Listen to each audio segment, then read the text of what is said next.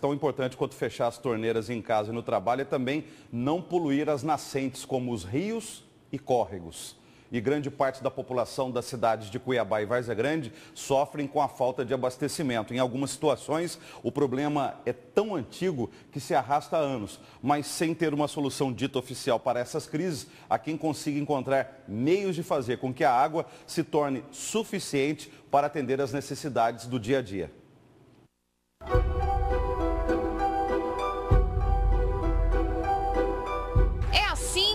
De balde em balde que seu Afonso garante a água para os afazeres de casa e até mesmo para tomar banho. Tomar banho e lavar, e lavar as louças e, e limpar a casa, né? E para limpar a casa, pegar água e, lavar uma roupa. A tarefa é necessária porque a água que chega da rua não tem força para subir nas caixas.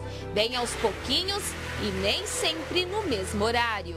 É de meia-noite para frente. Meia-noite é uma hora, meia-noite, quase cinco horas fecha acaba ficar de olho. Tem que ficar de olho. Já são tantos anos lidando com o problema que a família até perdeu as contas. Faz bastante tempo. Mês? Oh, desde a da época da Sunicamp. Então faz anos. Faz anos. Comida a gente tá compra uma água ali de, de, de, garrafão. Além disso, tem que comprar água. E quantos garrafão vai por semana, né? A gente parece que uma banha não fica bem limpa, lava a louça parece que não fica bem limpa, né? A mesma situação é enfrentada por outros moradores do bairro CPA 4 em Cuiabá, como Dona Eranir. O acúmulo de roupas na lavanderia é reflexo de 10 dias sem água na caixa.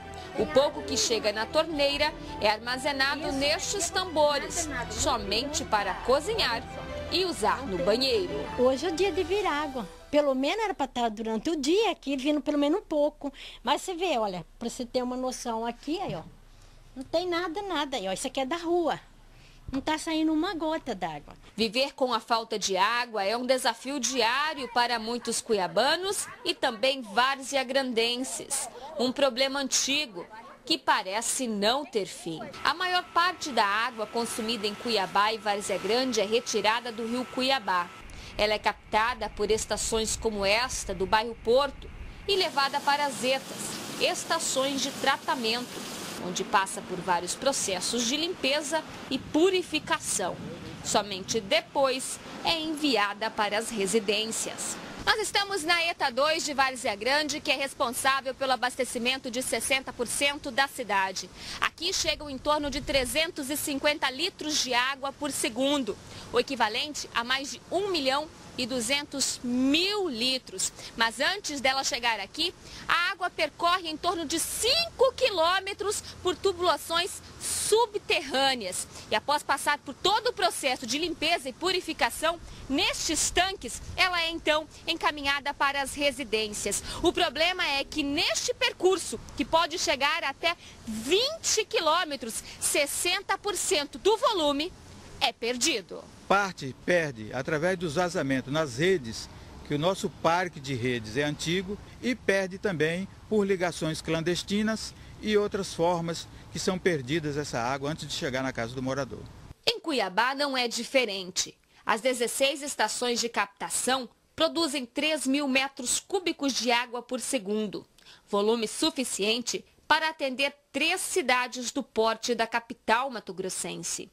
Porém, Grande parte desta água não chega nas residências. Ela é perdida nos vazamentos da rede, que é muito antiga. Mas, segundo a companhia responsável pela gestão do serviço, o mau uso pela população também contribui com o desperdício. Cada morador precisa também cuidar de dentro da sua casa, cuidar dentro da sua casa, colocar o seu, é, a sua boia na sua casa, olhar as suas instalações através das torneiras, né, porque cada um fazendo a sua parte, nós vamos ter água suficiente em Cuiabá durante muito tempo. Só para que a gente tenha uma ideia, uma torneira pingando dentro de uma residência consome-se em torno de 45 litros por dia.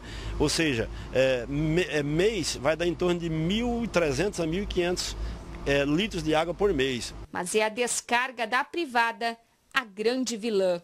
A tradicional de cordinha tem capacidade para 10 litros. Considerando que cada pessoa usa em média cinco vezes o banheiro ao dia, tem um gasto de 50 litros de água. Em uma casa com cinco pessoas, são 250 litros dia.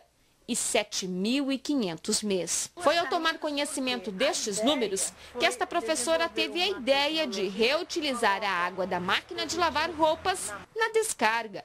No começo foi usando balde mesmo.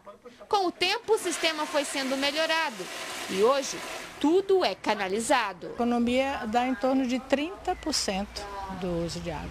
Não faltou mais água. Nunca mais faltou água. A ideia deu tão certo que a família passou a usar também a água das chuvas, captada em uma caixa ao lado.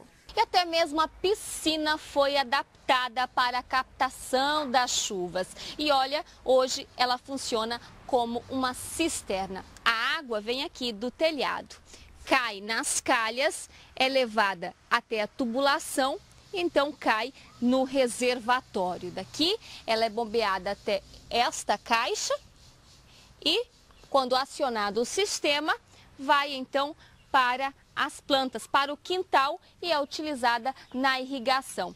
Tudo isso apenas com o gasto de energia elétrica, que equivale ao mesmo consumo de uma lâmpada acesa no mesmo intervalo de tempo em que a bomba estiver ligada. Em época de seca, nós temos chuva. 15 anos depois, a iniciativa que no começo parecia bobagem se tornou referência e é copiada até mesmo em outros estados como São Paulo, onde a redução de água nos reservatórios tem afetado o abastecimento. Apesar de não ser a mesma preocupação de quem vive em Mato Grosso, a situação mostra que a escassez de água não é um problema exclusivo de quem mora em regiões desérticas. Nós devemos usar tudo né, com, com, com uma certa é, segurança, com é, racionamento porque tudo que se tem vem da natureza, se você não preservar, você acaba perdendo. É o que nós estamos encontrando aí no Sudeste. O nível do rio Cuiabá é monitorado constantemente pela Defesa Civil.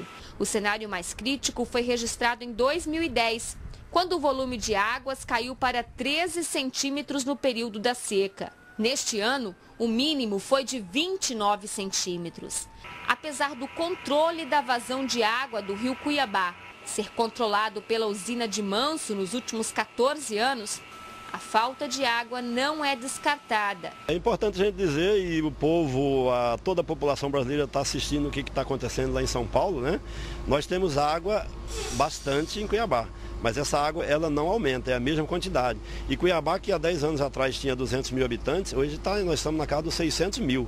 Daqui a pouco nós vamos chegar a 1 milhão e meio, 2 milhões de habitantes. Então nós temos que trabalhar é, é, com cuidado o consumo consciente da população, cada um fazendo a sua parte dentro da sua casa. Fico feliz de saber que eu estou contribuindo, que posso ajudar as pessoas e peço para as pessoas façam isso porque é um benefício para quem faz, para o ambiente e para todos.